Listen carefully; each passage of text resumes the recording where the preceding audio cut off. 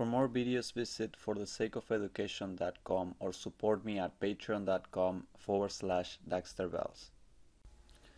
Alright guys, let's do this easy problem where they want you to determine the reactions at these supports.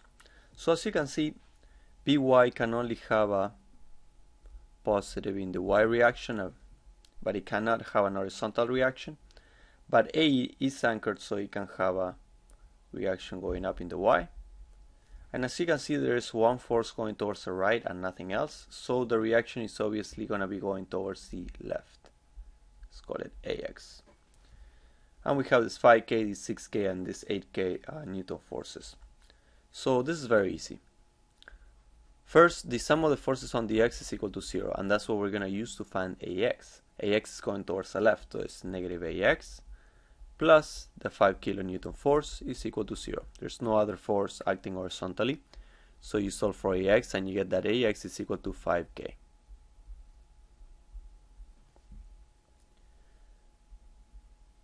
Then the sum of the moments about point A is equal to 0, assuming clockwise is positive. Let me start a new layer for this one. So basically, all these forces are creating uh, a moment about A and we're gonna uh, solve for them to find by. So the first moment is the moment created by this 5k force which is turning this lever arm and it's turning it clockwise. We're assuming clockwise is positive so it's 5k times the length of this lever arm which is given right here and is 2 times 2 meters. Then we have the 6k that is turning this lever arm also clockwise 6k times 2 meters. That distance is given right here. Then we have the moment created by the 8 kilonewton force which is turning this longer lever arm of 4 meters plus 8k times 4 meters. And last but not least we have the by turning this even longer lever arm of 6 meters but it's turning it counterclockwise.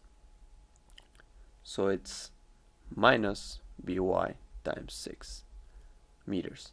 And all of that is equal to 0. So as you can see, the only variable in this equation is by, so you solve for by, and you get that by is equal to 9 kilonewtons. Nice round number. And last but not least, all, the, all that we're missing is ay, Sum of the forces on the y is equal to 0. Forces going up, we got AY plus BY. Forces going down, we got minus 6K minus 8K. And all of that is equal to 0, which is found BY. All we're missing is AY, so you plug in BY and you solve for AY, and you get that AY is going to be equal to 5 kilonewtons. Final answer for AY by, and ax. Please comment below if you want me to do any problems and I'll be happy to help. Thank you.